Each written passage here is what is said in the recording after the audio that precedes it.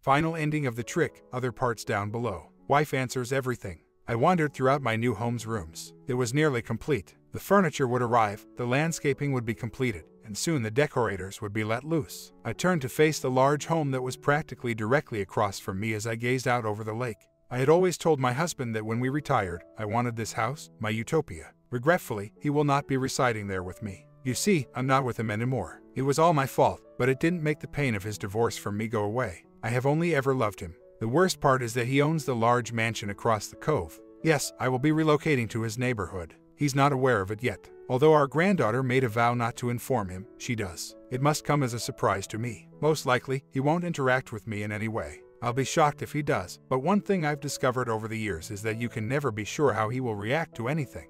The other day, on my way out of town, I drove by a cruise inn, a group of vehicles that I was old enough to recall as brand new. It reminded me of so many things, particularly the time I first met Roy. The days of unrestricted love were long behind. I was pursuing a nursing degree at the time in college. I'm 300 miles away from home and nobody can reject me. Although I wasn't a virgin by any means, let's just say that I was very popular in high school and call it that. However, I went full filthy lady mode in college. I persuaded myself that I had to get it out of my system in order to return home, get married, and live a decent, modest life away from my exciting past. I had nearly finished my first year of college. I had a summer job planned up with mom at a rest home as a nurse's assistant. Excellent experience for my CV. I was afraid of it. It was a boulevard cruise. Back then, you paid 23 cents for a gallon of gas. I was with her sister Becky and her boyfriend Bobby, as well as my friends Sabrina and Jane. We were in his 1970 Chevelle, a vintage muscle vehicle. He was boasting about a bunch of things that didn't mean anything to me, like his 350 engine, cam, and his four on the floor. Simply put, cars were meant to get you from point A to point B. We were pulling up next to this large four-door sedan when I realized I was almost halfway through a bottle of wine. There were two guys our age in it. Bobby made fun of their car because he wanted to flaunt it. Does Grandpa know you've got his car? The driver held up a 20, popped it twice, and placed it on the dash, shocking him beyond belief. This was a standard indication that he would race you for cash from one stoplight to the next. Bobby was so startled that he failed to notice the shift in brightness, and the man withdrew gradually. His laughter was audible. The next light was when we caught them. Bobby took out a 20 because he was so offended. It was not even competition. He left us behind when the light changed. Bobby was struggling to gather momentum when he pulled into a grocery store parking lot. After they had stopped, they got out and started talking about their cars, opening the hoods, and checking the engines. I stayed in the car the entire time. The driver's head was beneath the hood, so I couldn't see him. With a wink at the passenger, Sabrina said, He's kind of cute. Let's get out. As we were leaving, I overheard Billy attempting to persuade the driver to let us ride along. He said, Maybe we'll get some women, as I heard. Hello, I said, putting out one hand to keep my hair back and the other to introduce myself as Sheila. Woof. He flushed about eight shades of red, and I laughed with them all. I received a taste of his soon to be well known sharp wit. He gave me a handshake. I'm happy to meet you, Roy. Have I mentioned to you yet how much of a dog enthusiast I am? He looked like a more refined, gorgeous John Lennon, and I liked him right away. He was about six feet tall, slim, with long hair and a beard that was not wild but well groomed, with the most expressive brown eyes I've ever seen staring at me behind silver wire rimmed spectacles. After a while of sitting and talking, he walked in and got me a case of beer and two bottles of my favorite wine. Even now, when I see the label for Boone's Farm Strawberry Hill, I still get queasy. While Sabrina and I worked on the wine, he and Billy had a few beers. We chatted and joked, and after 30 minutes, I was under his arm and across the seat. Common mindset at the time was seatbelts, drinking, and driving. Screw that, we were college students, we were immortal. After an hour of him massaging my leg, I decided to take up his slack, because he didn't drink much anyhow. I finished my bottle and drank what was left of Sabrina's, a bad move that left my head spinning until we got back to the apartment, where Roy actually carried me in and laid me down on the couch, where I promptly passed out. Billy and Sabrina had stopped drinking and were practically sleeping together in the back seat. After 20 minutes, Sabrina was holding my hair while I worshipped at the porcelain shrine. He walked home, realizing there was nothing more he could do for me. She gave me a big glass of water, an aspirin, and assisted me in getting into bed. They were whispering to me while I lay there, feeling the ceiling whirl. Do you believe she's asleep yet? Yes, she disappears for the night when she faints like way. Where were we, honey, right now? They never missed a stroke, so I lay there and let Billy groan and Sabrina cry out until I could bear it no more. Then I grabbed the trash can and gave up the rest of my stomach. It's a common experience for college students, waking up with a severe headache and wondering who the hell put food in your mouth while you were sleeping. Probably what woke me up was Sabrina and Billy fighting once more. I walked into the bathroom, drank nearly a quart of water, and immediately threw it back, showered for a very long time, and then hobbled back to my bed, forgetting to put on makeup. Billy's jaw was hanging wide as Sabrina covered me with a blanket and prodded him in the ribs. Hey, how are you feeling? It seems that when I overindulge in alcohol, I always do. As bad as trash. Did I look foolish the night before? No, you were enjoying yourselves. You were having a great time, holding your halter top out of the window and telling Roy you were going to play with him. Then you rolled your eyes back and collapsed onto his lap, head down. When we got you out of the car, I saw his pants weren't fully zippered. He was an extremely irritated man. Billy laughed and I held the pillow over my head. I'll never be able to face him. I'm not going to wager on that. He gave you his phone number and said to call. Perhaps you two could get together today. That day, I felt human for the first time after hearing Billy say that. Thank you, please leave so that we can get dressed. What dorm is he in, do you know? Even better, I know where his apartment is. All right, when Sabrina drives you home, I'll ride along with you guys. You could demonstrate for me. So I unexpectedly showed up at his flat. I immediately passed asleep on his couch, still reeling from the previous night. Three hours later, I woke up and had no idea where I was. Admittedly, this was not the first time that had occurred during my time in college. He was studying at the kitchen table. I felt foolish for falling back asleep, but he made me laugh, reassured me, and even took me out to dinner when I mentioned that I was hungry. It wasn't a hamburger business, rather, it was a location I had driven by numerous times without noticing. We had soup in artisan bread bowls. It was excellent. I felt like a human being again. We conversed and made out. We went to the park merely to enjoy the fresh air and sunshine. It appeared that he was well connected. The appearance of two of my friends nearly made me freak out. Not simultaneously, but I had slept with both of them, and I was worried they would say anything. I signaled to Roy that I was introducing them. Fortunately, they weren't thick, so I felt at ease. With their guitars in hand, we quickly found ourselves singing along. Roy's voice was unexpectedly good. I decided to push it since I was getting worked up from all the gentle and caressing kissing I had been performing. Back at his flat, I made him stop and get a beer. I had to go to the restroom after a few of them. I had a thought. I dashed into the shower to undress. When I opened the door and showed him my full splendor and told him he needed new towels, the sight on his face was amazing. Then I turned around. My physique was always fantastic. I smiled as I peered over my shoulder. You coming or what? I was relieved that he declined to select the option. We spent some time playing in the shower before returning to his bedroom. He was well equipped. He was slightly above average, and he had a decent thickness, according to my little expertise. However, the key distinction was in how he applied it. I was corrected in my belief that the proverb it's not the size of the wand but the magic in it was meaningless. It dawned on me what authors discuss when they write about afterglow. Late that night, he eventually brought me back to the dorm, and Sabrina took one look at him and smiled. Was he good? I gave her a direct glance. The best I've ever had. I think I'm going to marry him. She gave me a startled expression. Sure shot, Sheila. Marriage, love, what alien race do you come from and what have you done with my horny little friend? I scowled. Guys realized they would definitely get some if they could get me high enough, which is how the term originated. Roy never heard it, I hoped. Those days are over, girl, at least until I'm sure. My god, you're serious. I'm going to check this guy out. If he's as good as you say, I might take a shot. We did investigate him. Scholarship recipient from a home with a single parent's lower income. Worked nearly a full-time job and kept her grade point average close to a 4. IQ very close to genius level. Having a pal who works part-time at the admissions office is an excellent thing. Throughout the months we spent together that first year, he of course told me everything, and I never revealed to him that I already knew. By the end of the semester, I had talked my way into his apartment and we had four weeks together before I had to leave for home. He intended to remain at his job and put in as many hours as possible. That way I can cut back next year and spend more time with you. There is no disagreement there. I got a job as a nursing assistant at a rest home thanks to my mom's skillful negotiation. Despite the fact that it was a great work experience for my major, I detested it. The elderly should be respected, I know that, but it's difficult when you have to change their diaper for the third time in two hours as they scold you angrily. After taking whatever I could, I quit my work and returned to our flat. When Roy returned home, I was seated on the couch. As we made our way to the bedroom, I said to him, I didn't want to waste any time. Before I blew it all, I lived with him for the remainder of my time in college and for an additional year. I knew that we would get married, start a family, and live a lifetime together. I simply didn't want to do it at that moment. I was taken aback when he made the proposal. It was there, the final shred of my childhood being shaved away. He didn't react kindly to my response. Our partnership developed a fissure that continued growing. I was primarily to blame. The good doctor was a cunning man, but he also had good seduction skills. He paid attention as the nurses conversed, figuring out who the easiest targets were. He stroked my ego and vanity while feigning to be on my side. He suggested that I move out for a bit, scare him, let him be miserable for a month or two and then consent to move back in. He'll be so grateful you'll have all the power in the relationship. Then you can determine the pace. He had no idea how Roy thought and didn't know him. Had he done so, he could have ceased. I fled and hid as a result. Naturally, after a month, the physician gave me some drinks and soon after that, he beat on me and directed my heels at the ceiling.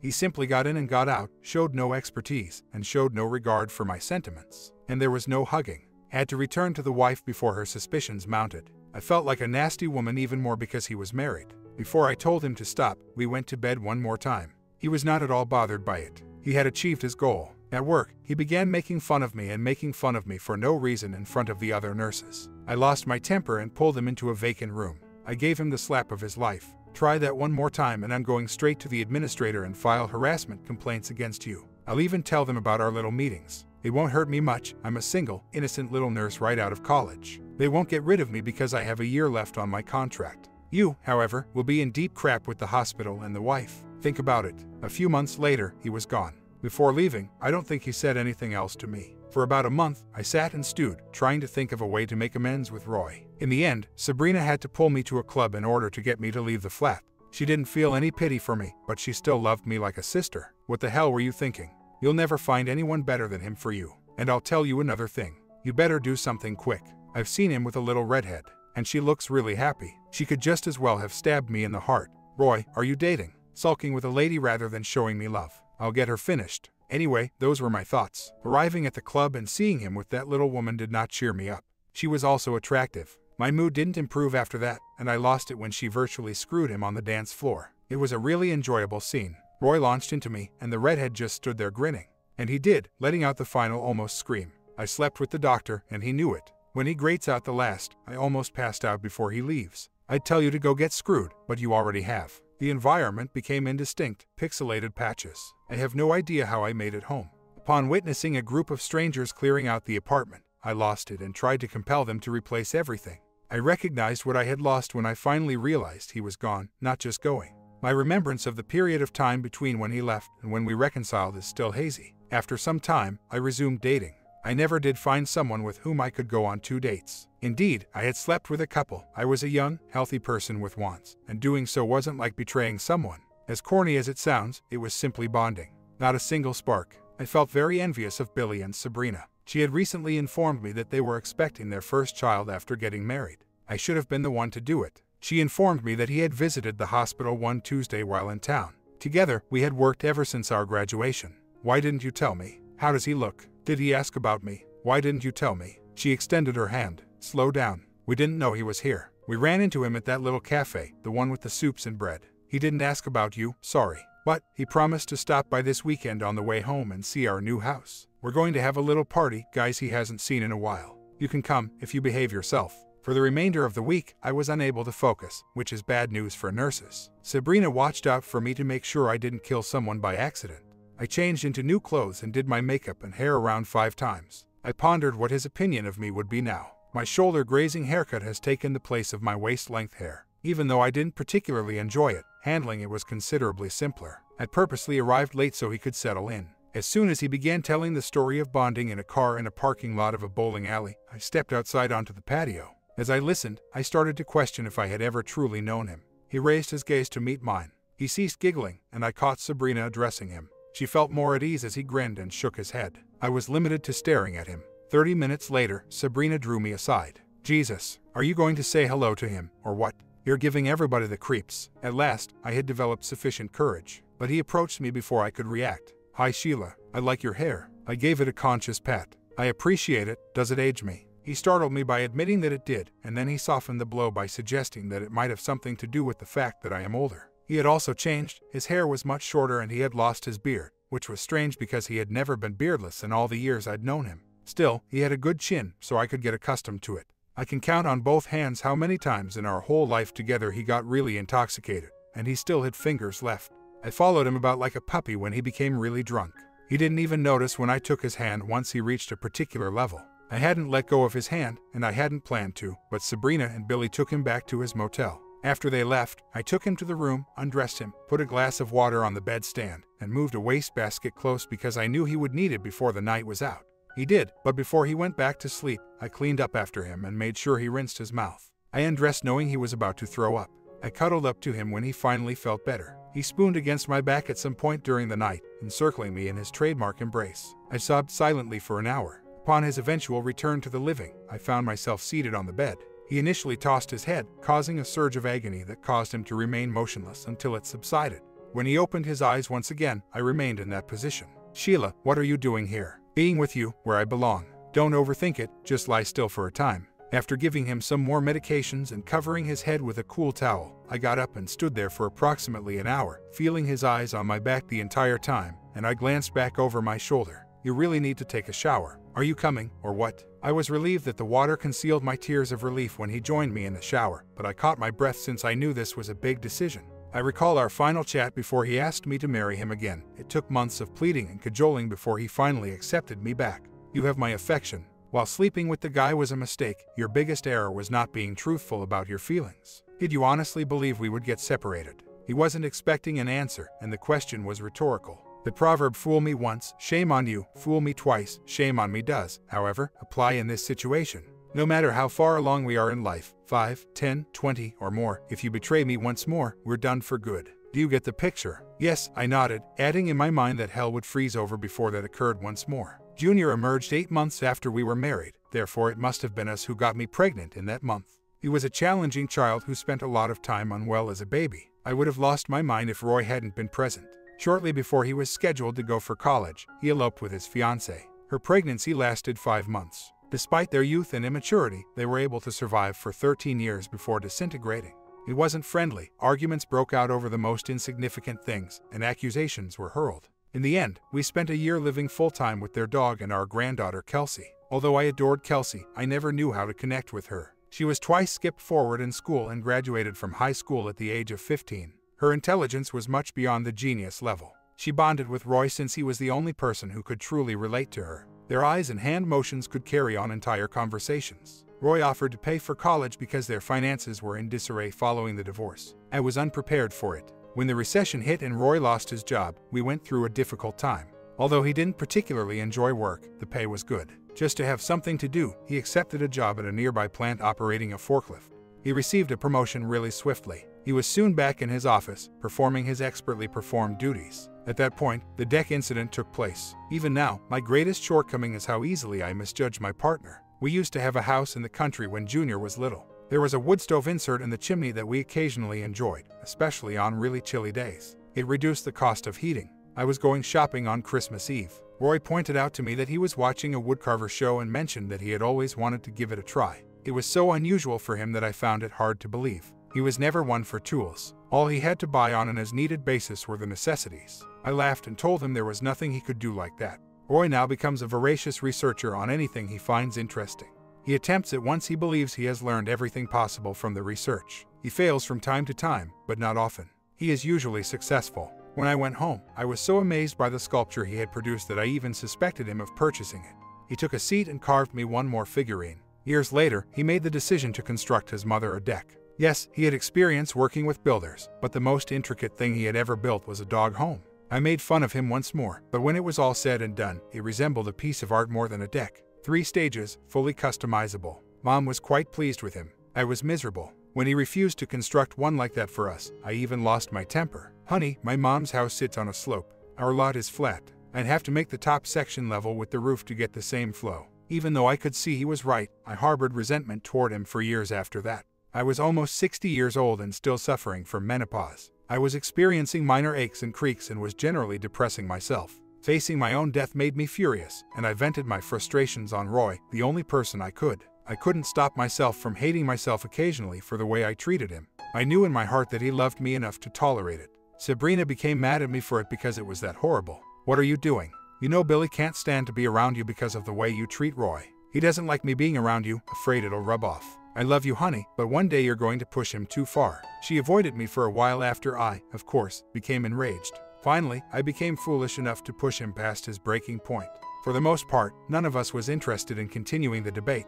I could tell by the look on his face when he thought I was not looking. He was comforting in a sinister manner. Roy glanced up at the television as I was relaxing and enjoying a romantic movie. Hey, I just saw a news segment on that writer. He's worth over 60 million. All from writing romance novels. It was effortless for me to say, It's too bad you don't have the talent to do something like that.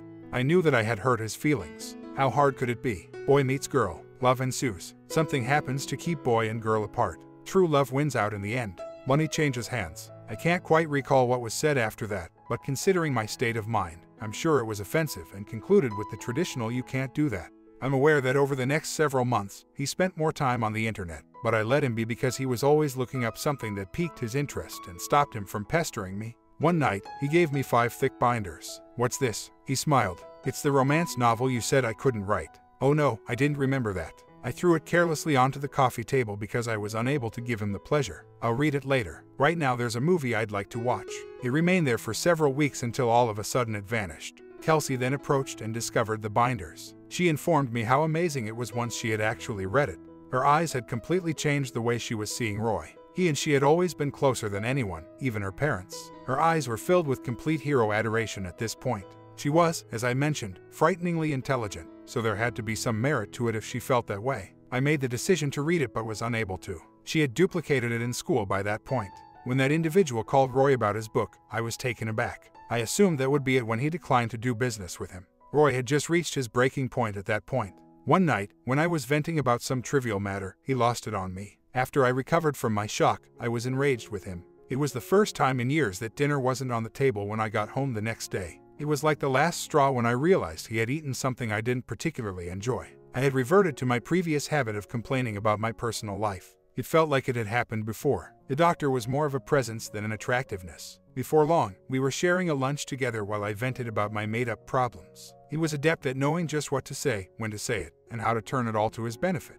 I was still enraged by Roy's seeming lack of logic and in denial mode. I was feeling the strain of suppressing my emotion, and I had no one to talk to. I finally ruined our marriage beyond repair. While I awaited approval and the security check, I rented a condo. After six weeks, I finally had a new address. With pleasure, I peered at the walls. I would have him bowed down. I felt in control because I stopped communicating with him when I didn't want to and he had no idea where I was. It all came crashing down at this precise moment. Roy's response was not at all what I had anticipated. I reasoned that nothing could break the marriage as long as we were apart. I clung to the belief that Roy's would have to put up with everything I did as long as I returned home because he loved me. I was hiding while on vacation. He found me in just one week. It took me entirely by surprise. I had lightened my hair two shades and shopped for younger, chicer clothes. I didn't feel close to 60, I felt 40. The girl appeared to be a high school student. I assumed she was one of Kelsey's pals when she surprised me by saying my complete name. She gave me a manila envelope after I gave her my word. You've been served. Sorry. And then she was gone without warning. I was incensed when I saw the documents. Separation by law. Just to get my thoughts straight. That garbage. My rage increased when I discovered my phone was dead when I took it out. My service has been cancelled by the man. How could he have known? By God, I'll impart some wisdom to him. And I gave it my all, roughly a hundred tries, before realizing he wasn't going to pick up the phone. I tried calling him at work, and he hung up as I got through and started screaming. When I called back, the receptionist answered. She was aware of who I was and made it clear that she would not return my calls if I put her through anything and I wasn't polite. You can't call him on company time and harass him, Sheila. Just try talking, maybe he'll listen. I gave it a go, and we had a conversation. It was more like a rant to me. I should listen to him when he stated that if he found out I was seeing someone, we were over and there would be no more talks or explanation. But I wasn't feeling that powerful or haughty at the time. I guess we all know how that turned out. After I told Randy, Dr. Feldman, what he had said, he devised a scheme in which I would leave the condo and he would ride three stories ahead before descending again and opening the door for me. He just strolled by and repeated the elevator ride, not bothering anyone on the floor. We felt we knew so much. We would never have imagined that he would employ detectives. There wasn't much bonding. It never lasted very long because he was nothing like as physically fit as Roy was. Yes, I was let free, but I believe that was more due to my desire to spite Roy than anything else. I had no one to turn to when Roy changed the filing to a divorce and my whole world fell apart. When I opened the envelope at the nurse's station in the hospital, I had no idea what was inside. When I noticed that I was standing in the doorway, flashing Dr. Feldman with the words while my robe was open, with the words time expired scribbled all over the picture, I realized my life was gone. The photo fluttered to the floor as I passed out. When four nurses and a doctor noticed them, the hospital was completely covered in them by the next day. The doctor was enraged.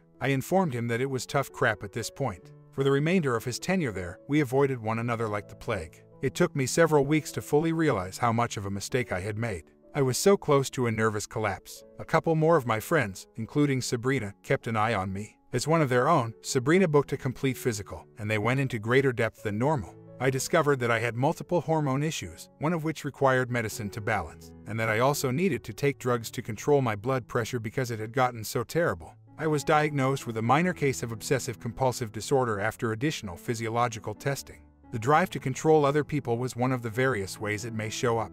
That came with a separate pack of medications. I was greatly benefited by all of that and treatment, but it was too little, too late. Then Roy simply vanished, leaving even Kelsey in the dark about his whereabouts. Our only addresses were that of a business and his attorney. I was positive we were over, but I held out hope for counseling, believing if I could just talk to him, he would listen to me and come around. Even though we had a meeting before the counseling, all I could manage to do was apologize and cry. The entire set of meetings was a farce. I had the impression that our therapist was a little terrified of Roy and didn't like him. Instead of ignoring me as I had assumed, he completely botched everything I attempted.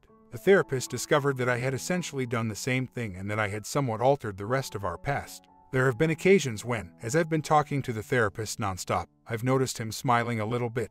At that moment, I understood he was probably enjoying my pain, which is why he had agreed to the sessions. Naturally, we went to arbitration after the counseling contract expired. Roy was very giving, so the poor man must have believed it would be an easy stroll in the park. I battled valiantly for every small object. I was taken aback when we received the financial disclosure. From where did all the money originate? I was unaware of Roy's occupation and knew that he had left his previous employment. The facts were revealed. My Roy, the accomplished author, the rising star of the romance genre and best-selling author. I had overheard nurses discussing him. Even his paperback had been laying about. All along, it was him. He was also prepared to offer me more than half. It was quite close to a million bucks worth the house. My lawyer almost had a heart attack when I turned down the offer and insisted on absurdly high alimony. Roy's eyes changed in a way that caught my attention. He no longer appeared amused. After a brief conversation with his lawyer, I noticed her smile for the first time. If you reject, we'll let arbitration expire and you may sue us in court. Take it or leave it, this is his last offer. He'll also throw in the profits from the first two volumes for the next three years. I'll tie you up for years, and they'll never give you what you're getting now. My daughter is going to college next year, and my fees from this alone will pay for it. Please refuse. I'll battle you like a crazy dog over every point. At that moment, I realized it was useless and it crossed my mind that he could be amusing himself by watching me aimlessly bounce through hoops. I went home, sobbed uncontrollably, and accepted the terms. I was crying when it dawned on me. I kept missing how intelligent he was. He became more subdued as a result of his mother raising him without much male influence. Sometimes he thought like a lady. I recall an instance at his previous employer where he was being severely mistreated by a different management who was also trying to ruin his career by taking credit. After being grumpy for a while, he eventually returned to smiling. With shame, the management departed. Roy was having a lot more alcohol than usual as he celebrated. I remarked on how fortunate he was. He chuckled and told me all about the methodical methods in which he had destroyed the man, in ways that had nothing to do with him at all. Then he explained what he had done to the man as he was leaving. Thoughts of inventing to impress me crossed my mind, but the hairs on the back of my neck continued to stand up. The settlement itself was a contemptuous gesture. Money was never really important to him, and my mocking remarks allowed him to brag about his accomplishments. He was three quarters of the way through his fourth book, which I was unaware of at the time, and he already had another one scheduled for publication. He even gave me credit for initiating his new career by dedicating the third book to me. His words were only known by those who were next to us. I once saw his house. He was on a book tour, so Kelsey drove me up to see it. It was exquisite. Admiring the vista, I peered across the cove to the vacant lot that would someday become my home. I didn't quit my job in spite of the promotion. Since I got to perform more actual nursing and less administrative work, I actually appreciated it more. Just the first year was terrible. Not as horrible was the second year. Things were going well in my therapy. Though I did go out to dinner twice with a doctor while Roy had to travel out of town, I never strayed during our marriage, contrary to what Roy believed. I have no idea why I did that. My therapist believes that I required confirmation that I remained attractive. Through counseling and physical activity, I managed to stop using my blood pressure medication. Observing a 70-year-old effortlessly perform the most difficult poses is how I first learned about yoga. Based on her well-defined physique, I estimated her age to be in her late 50 seconds. She chuckled and explained that it involved both exercises and covert surgery. Once I started her class, I couldn't stop. Five times a week, I went. After a few weeks of nearly screaming in agony, I started to push myself more. I lost my belly roll, toned up, and gained a lot of self-assurance. I made use of my situation to get some treatment done on my neck. I like how my instructor looked, so I quit coloring my hair. Since it was more silver than gray, I purchased shampoos to make it more reflective. None of this went undetected. Men in their late 40s were asking me out on dates. Unfortunately, I had pretty much given up on it. It was my 62nd birthday. My retirement program, I 401 and the money Roy gave me put me just north of a million dollars, not including Social Security, according to my financial advisor. I gave up my job. Kelsey arrived to spend the weekend, complimenting my new appearance and sense of independence. What are you gonna do now, Grandma? To be honest, I had no idea. You should move up to the lake. I know you like the area, and you'll be close to me. At the end of the year, she was scheduled to graduate. It would take her two months to turn 18. She was definitely pursuing a master's degree, if not a PhD. Roy would pay, I knew that, and if she would let me, I would help. She was genuinely in love with her new partner. As soon as she became legal age, they were moving into an apartment together. He was every bit as brilliant as she was. When they were around, I sometimes felt like a bug under a microscope. I gave it some thinking. The house was all that held me here, and I could rent it out until the market stabilized. I also enjoyed the lake. To be honest, I hadn't planned on living next to my ex. Really, simply put, the offer was too excellent to refuse. Furthermore, I found it appealing to imagine that I could design the home of my dreams and be the first to occupy it. Kelsey was quite supportive, but she cautioned me a bit. I don't know how Grandpa will react. He doesn't mention you, but keeps a picture of you on his nightstand.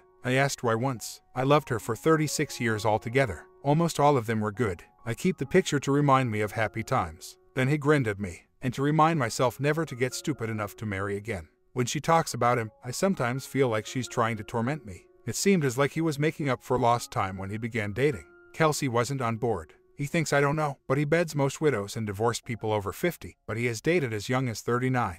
Hey, he's rich, attractive, and in excellent form for his age. He's not a moron, but some people are gold diggers. I hope he would exercise greater caution, as illnesses can strike anyone at any age. She referred to it as his Platinum Woman Parade and complimented me on my new hairstyle. I'd let it to regrow to my college length. My house was ready at last. I had a mini housewarming with Kelsey. She could take a 900-yard pontoon ride instead of driving nearly 5 miles to get to my house because it's in a separate development than his. Roy still didn't know that I lived there, so she took action. He saw you the other day while you were doing yoga. Didn't get a look at your face, though. He did say you had a hot body for your age. He wanted to invite you over. I'm stalling him off until his birthday in two weeks. I'm giving him a little party. I questioned her about how on earth she convinced him to attend a party when she knew he wasn't fond of them. Grams, you know him a lot better than I do. Nobody makes him do anything unless he wants to. I pretty much begged him, in a teasing way. The day arrived. I spent the whole day being a tense ball of energy. I planned to arrive tardily so that he may have some time to unwind with his pals and enjoy a few drinks. He hadn't communicated with me in person since the split. On my birthday and Christmas, I received cards and gifts. Though Kelsey was largely unaware of them, he signed them from Kelsey and I, I followed suit. I covered my wavy hair with a scarf for the journey across the cove. My hair was all over the place as Kelsey opened up the outboard since she was feeling wonderful. Since sound travels very well across water, I heard his lawyer ask if he had met me yet while I was docking. No, she's probably a dog. Trying to get the hair out of my face, Kelsey charged up the yard with me in tow. Grandpa, you know how sound carries over the water. She heard what you said. You need to apologize. After removing the hair from my eyes, I extended my hand and looked directly into his startled face. I said, Hello, I'm Sheila. Woof. When he took me home, I was much happier than when he had let me stay. After a very delightful little romp, he went to sleep, and I broke down in tears of joy. Though I felt like I had to almost beg him to stay, I was still shocked that he did. I gave it everything I had to please him, enhancing the experience with casual exercises and yoga poses. It lasted quite a time, but it wasn't tantric. He gave it his all, setting the pace and pulling back when he got too close. He was unlike the others, he was more forceful, both grabbing and caressing. It took me some time to understand the difference. He could be that way since he was free to go out if I didn't like him, as he wasn't required to live with me. Though I did wish he would occasionally be gentler, I did appreciate his new manner better. Sometimes, I hoped there would be more. After speaking the next morning, we agreed to split ways amicably. I told him how wonderful his writing was and how pleased I was of him. I told him about my life after the divorce as well, including my OCD and hormones without getting too personal. He's with me nearly every day. I purchased a powerful little boat that is rather lovely. While she's there, Kelsey and her buddies take it and fly across the lake. Every time, she returns with barely enough fuel to reach the marina. He's still punishing me in numerous ways. Occasionally, he advises me to remain at home, even when nobody else is around. And when I knock on his door, it better be life or death if he's in his office working. Every few weeks to a month, he goes to the country club and retrieves a cougar to bring home, even though he knows it irritates me. At his birthday celebration, I got to know a few of those women. I let them know I was serious competition, but I wasn't foolish enough to try to claim him by clutching his arm or sending any of the other many signs one woman gives another. I have even gone to the extent of using powerful binoculars that I purchased specifically for bird watching to see them. After noticing the flash once, he reached for his own pair, turned to face me, and waved a bit. The female flailing about all over. That day, I smashed a really nice pair of binoculars. I walked inside and sobbed out of sorrow and regret. I was the only one responsible for him being this way, I had done this. Usually, I would pout for a day or two, then drive over to his patio and practice yoga behind the privacy wall. I was really awful at leaving my leotard behind. Usually, I would jump around two-thirds of the way through my workout. That allowed me to work out different muscles. When he summoned me over for breakfast one morning, I was quite shocked. He had a woman over the previous night, I swear. Just as we were finishing our first cup of coffee, Sabrina entered wearing a robe. As I moved from one to the other, they fell apart at the expression on my face. She gave me a hug. Surprise. She looked fantastic without the robe on. How? Why? What about Billy? A veil lifted from her countenance. Billy was just marking time until he vested. Then he and his little honey he's had on the side for five years were going to disappear into the sunset. The day he retired, I had him served. At work, in the middle of his farewell party, I included lots of photos for him to share. Hope I didn't ruin it. In exchange for a peaceful divorce and no alimony, we divided his retirement 60-40% in my favor. Roy and I went to lunch after I ran into him. After a few dinners, we had breakfast at last. Please try not to get angry. I was, but there was nothing I could do about it, so I let go and we lounged on the patio like old friends, the surrealistic atmosphere returning to my existence. We had just had an intense playdate, and I was basking in my afterglow when he gave me a shocking blow. You know, you and Sabrina were close for years as roommates in college. Curious, were you ever? If you were, I wouldn't hold it against you. We could perform a three-way sort of flashback. That'll never happen. I snorted. That is not possible for you. As soon as I said anything, it struck me. With a simple smile, he said, You know better than to say that. My comment, he should have dropped her to the ground. If you betray me, run. She did it twice. I fail to understand why she's still around. You guys agree? Comment down below, sub and bell and I will catch you in the next one.